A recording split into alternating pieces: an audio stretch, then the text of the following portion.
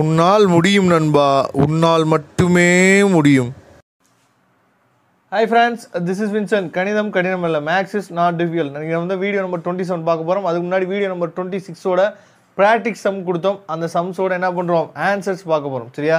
First சம்மோட answer பார்த்தீங்கன்னா two a x plus b divide by two into a x square plus b x plus c whole power one by two அடுத்து second sum பார்த்தீங்கன்னா one by x into log x அடுத்து third sum பார்த்தீங்கன்னா e power x by x cos cos of e power x into log X இது எல்லாத்தையும் சேர்த்து எதோட multiple பண்ணுறோம்னா one plus X into log எக்ஸோட மல்டிபிள் பண்ணுறோம் அப்போ இதுதான் அந்த மூணு சம்க்குரிய ஆன்சர்ஸ் கொஞ்சம் வந்து இந்த வீடியோ போட்டுறதுக்கு கொஞ்சம் லேட் ஆகிடுச்சு ஃப்ரெண்ட்ஸ் நீங்கள் இது வரைக்கும் கொடுக்குற சப்போர்ட்டுக்கு ரொம்பவே நன்றி.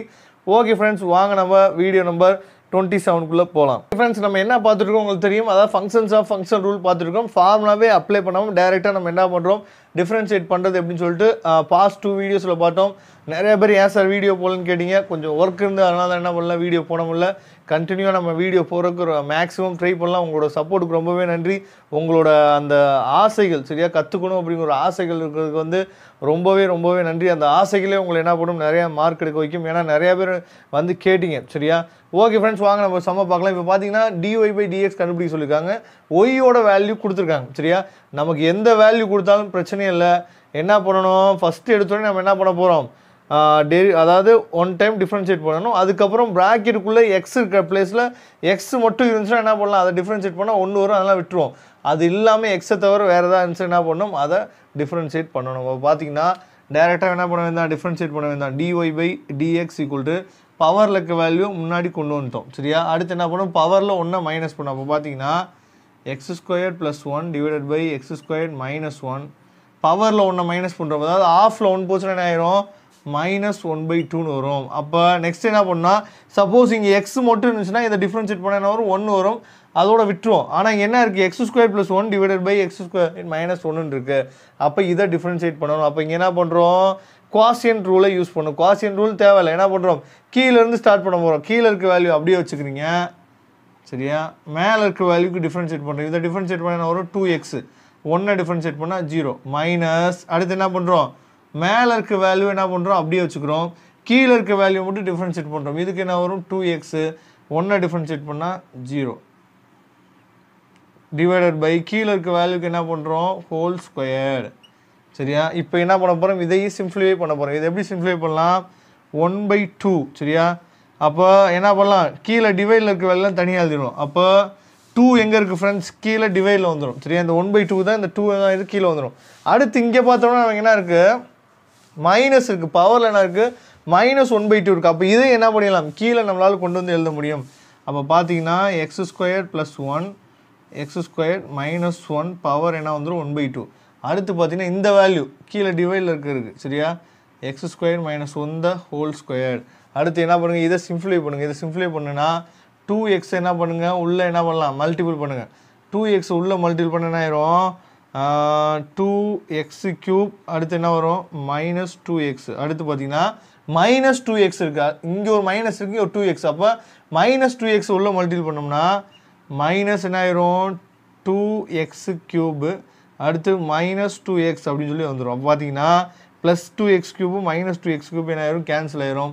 அப்போ இதை சிம்ப்ளிஃபை பண்ணிங்கன்னா நமக்கு என்ன வரும் பாருங்கள் minus four x divided by two into x square plus one divided by x square minus one power one by two x square minus one the whole square அப்போ இந்த டூவும் இந்த ஃபோர் என்ன ஆயிரும்?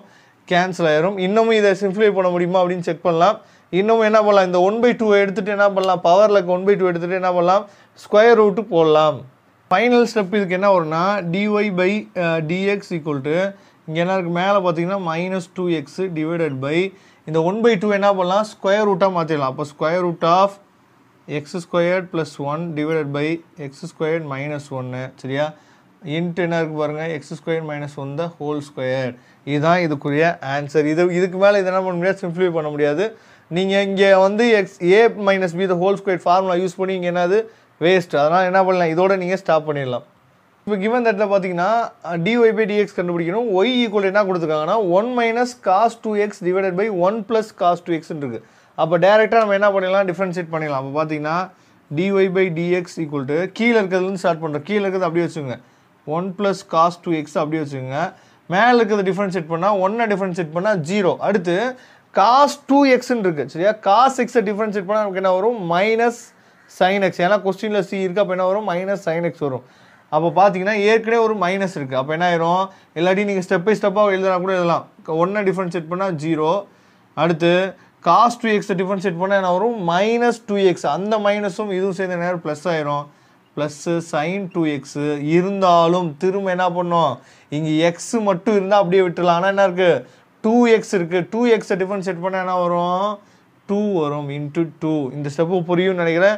திரும்ப ஒரு தடவை நீங்கள் பார்த்தீங்கன்னா உங்களுக்கு என்ன ஆயிரும்? ஈஸியாக புரிஞ்சிடும் அடுத்து மைனஸ் மேலே இருக்கிறது அப்படியே வச்சுக்கிறோம். One minus cos two x கீழே இருக்கிறத டிஃபரன்ஷியேட் பண்ணால் அதே மாதிரி தான் ஒன்றை டிஃபரன்ஷியேட் பண்ணால் ஜீரோ ப்ளஸ்ஸு இங்கே ப்ளஸ் வரக்கூடாது. ஏன்னா காஸ் டூ எக்ஸை டிஃபரன்ஷியேட் பண்ணால் minus sine two x minus sine two x திரும்ப என்ன இருக்குது டூ எக்ஸ் இருக்குது அந்த டூ எக்ஸை டிஃபரன்ஷியேட் பண்ணால் என்ன வரும்? Two into two divided by கீழே இருக்கிறதுக்கு என்ன வரும்? ஹோல் ஸ்கொயர்ட் அப்போ one plus cos two x the whole square இப்போ இதை என்ன பண்ணுறோம் சிம்பிளிஃபை பண்ண போகிறோம் இப்போ பார்த்தீங்கன்னா இங்கே என்ன இருக்குது டூ இன்ட்டு சைன் டூ எக்ஸ்ன்னு இருக்குது இங்கே மைனஸ் இருக்குது அதே மாதிரி இங்கே பார்த்தீங்கன்னா இங்கே என்ன இருக்குது minus two into sine two x இருக்குது அப்போ இது எல்லாத்தையும் என்ன பண்ணுங்கள் உள்ளே மல்டிபிள் பண்ணிங்கன்னா two into sine two x இங்கே என்ன இருக்குது two into cos two x into என்ன வரும்? சைன் டூ எக்ஸ் சரியா? அடுத்து மைனஸ் இருக்குது இந்த மைனஸும் இந்த மைனஸும் சேர்ந்து என்ன ஆயிரும்? மைனஸ் இன்ட்டு மைனஸ் ப்ளஸ் ஆயிரும். அப்போ என்ன பண்ணுறோம் plus sine two into sine two x உள்ளே மல்டிபிள் பண்ணுறோம் என்ன ஆயிரும்? Plus two sine two x அடுத்து இங்கே என்ன ஆயிரும் ஃப்ரெண்ட்ஸ் இங்கே மைனஸ் தான் இருக்கும். அப்போ மைனஸ் என்ன வரும்? Two into cos two x into sine two x divided by இந்த ஸ்டெப் இங்கே என்ன வரும் ப்ளஸ் வரும். ப்ளஸ்ஸை விட்டுட்டோம். சரியா? அடுத்து பார்த்தீங்கன்னா one plus cos two x the whole square இருக்குது அப்போ இந்த plus cos two x cos two sine two எக்ஸும் minus two cos two sine x என்ன ஆயிரும்?